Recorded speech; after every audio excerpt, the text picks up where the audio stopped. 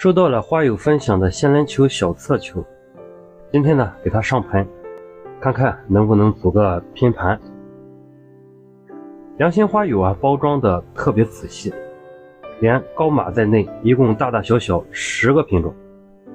对于我这样比较粗糙的人来说呀，貌似真的不用把品种标的这么细。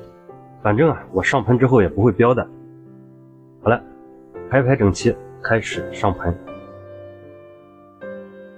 花盆呢，我用的是一个小号的多肉拼盘花盆，盆土啊，用的是送走一颗晚霞之后留下的旧土。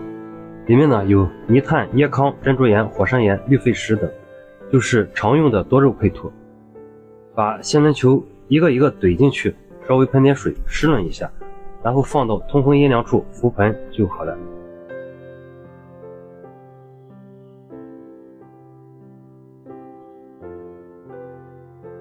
相比于景天科的多肉植物啊，仙人球有一个最大的优点，就是夏天不怕热，还能不断开花。